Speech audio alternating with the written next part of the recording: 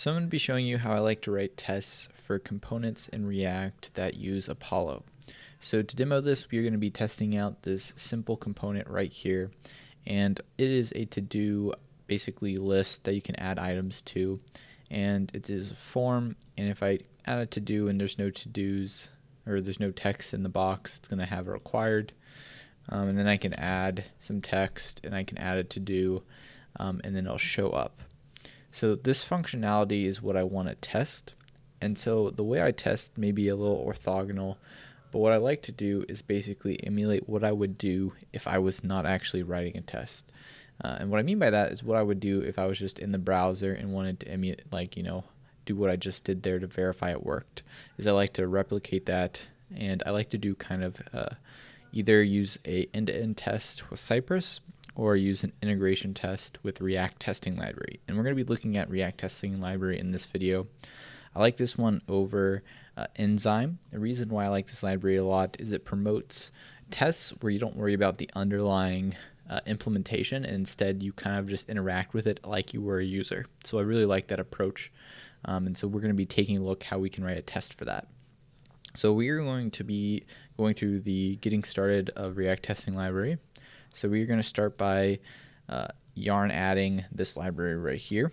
Now I already add this to my little create react app here, so I'm not going to run that. But I have a app.test.tsx, um, which is a blank file that I'm going to add my test to. Now, uh, one thing I wanted to mention real quick too is if you want to follow along with this, I'll put the code on GitHub so you can uh, basically write this test along with me. So uh, we've added this library. I'm going to go to the example that they have, and we're going to copy the example, and I'll link this below if you want to copy this as well. And this is just getting started code for us. All right, so this is what it should look like. I'm not going to worry about installing jest DOM for this or uh, these two libraries.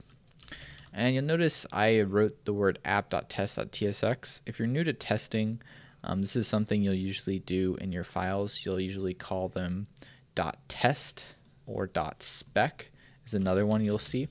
Um, and so this makes it easy for Jest to find your file. So Jest is a test runner.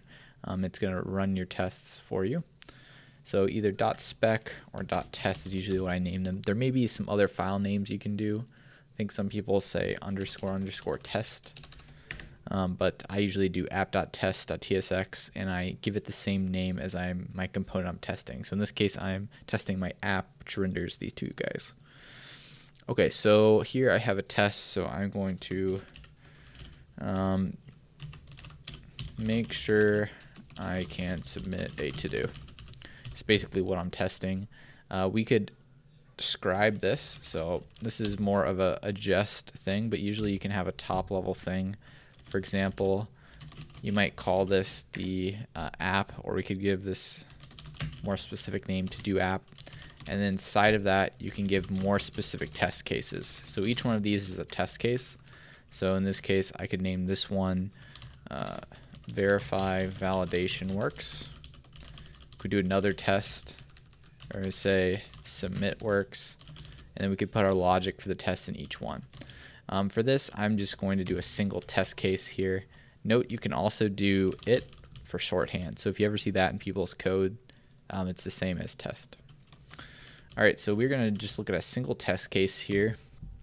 Um, and I'm going to get rid of this stuff right here. And we're just going to start with this render. All right, so I have uh, React testing library imports from that. Uh, notice there's this after each. It's going to clean up. This is something from uh, React testing library. You can get rid of this by adding something to your Jest config. So I recommend uh, looking at the docs for this, and you'll get a better idea of how you can uh, simplify that a little bit. So I'm not going to worry about that for now, though. So here I'm going to say render, uh, and this is coming from React testing library, and I'm going to render an Apollo provider Apollo mock provider. Uh, if you don't know what this is, I recommend watching the previous video to this. I'll link it below where I explain what that is. And this is basically going to mock out our Apollo requests. Uh, and just to show you what we are mocking out, if we go, let's start with a to-do form. So we have a mutation that we're going to be mocking out where we add a to-do. Um, and you can see this is a Formik form.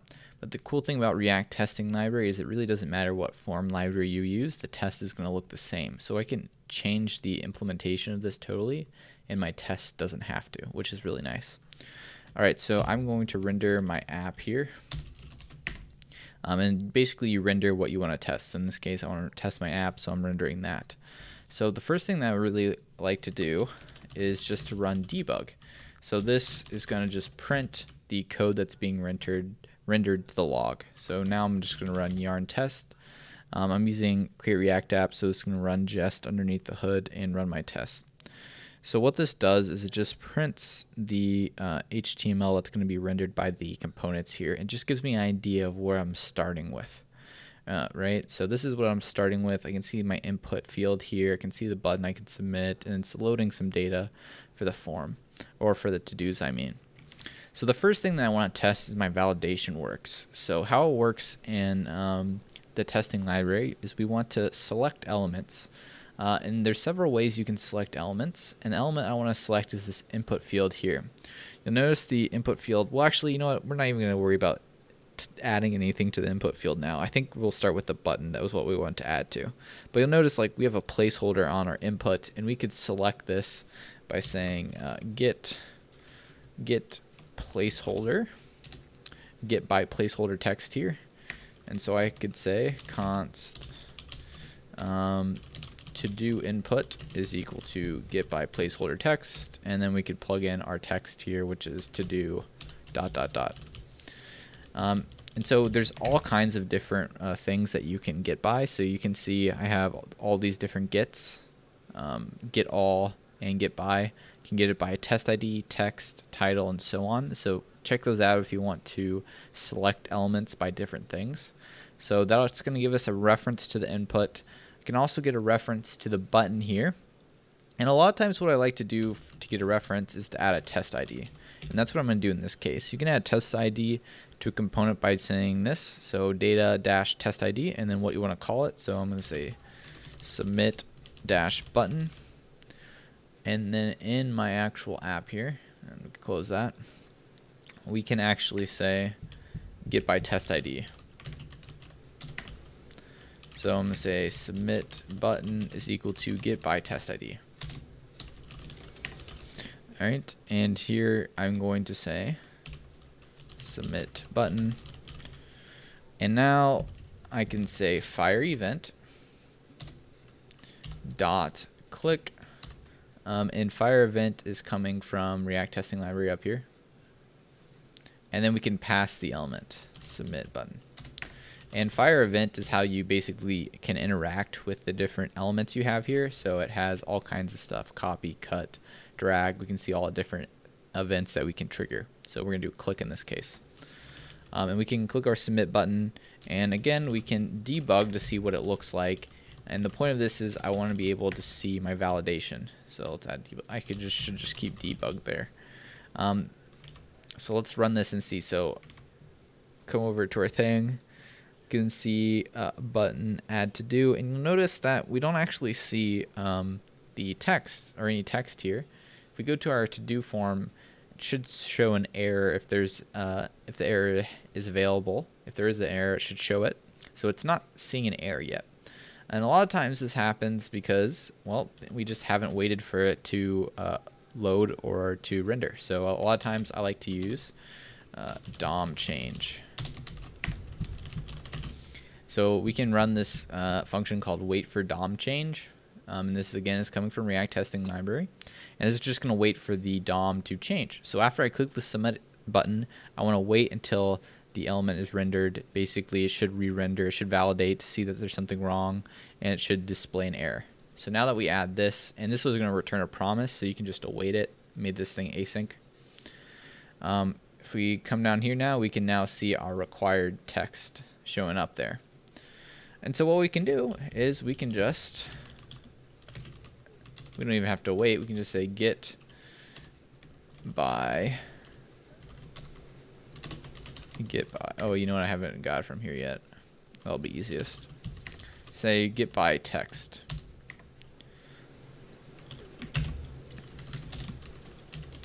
and we can I can grab this required div and see that it's there. And I think this throws an error if it can't find it. So for example, um, let's just see what happens here. It says unable to find an element with the text dash required dash. So perfect. So if I just add it like this, this is going to assert that it's able to find the required text. Nice. So, so far what we've done is we've hit the submit button, waited for a change to happen, and verified that the required text shows up. So the next thing that I'd like to do is I would like to fill out my form. So we have access to this to-do input. I'm going to say fire event dot change on our to-do input. And we say target value and then uh, you'll notice this looks similar to what an event looks like. And we'll pass in the actual text here that we want to update. So in this case I'll say go to the store to add to my to-do. So basically this is going to fill out the input um, and now if I want I can fire another to-do button to get triggered and this is going to submit my form so now what do I want to do to actually make sure my form is submitted okay? Well, what I did in the last one was verify that the to-do showed up. So let's do exactly that. So in this case, what I can do is I can say, um, yeah, get by text is I guess the one I want to say, get by text. And I want to get this go to the store text. In this case, there's going to be a couple DOM changes, so I'm going to use a different thing here. I'm going to say wait for element. And this takes a function like this. And basically this says wait for the an element to show up with the text go to the store. Um, in this case, I don't actually don't know if this will actually work. Let's see if it does. Um, see how it's it was loading for a little bit and it errored out. It says unable to find an element with the text go to the store. Um, and that's because I haven't mocked out my mutation yet. Um, but this gives you just an idea what wait the element does. So it's going to basically wait, wait, wait, wait until this becomes true or it's going to error out. All right, so when I click on the submit button, it's going to call mutation. So what I want to do is I want to mock that out. So I'm going to say custom resolvers, mutation,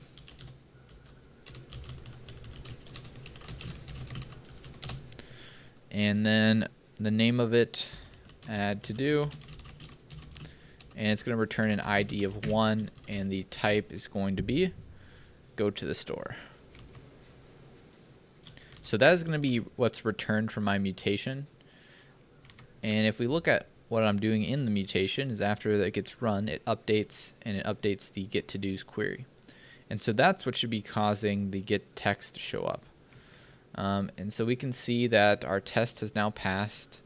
We do have this problem with two, two children with the same keys showing up. So we could go over to our to-dos um, and we can see the ID we're using and the ID looks like it is not working. So I could just use the index as a key and ignore the ID there. Maybe that'll get the test to pass. So there we go. So we have uh, tested this component, and this is probably how I would write the test. So this may be a little weird.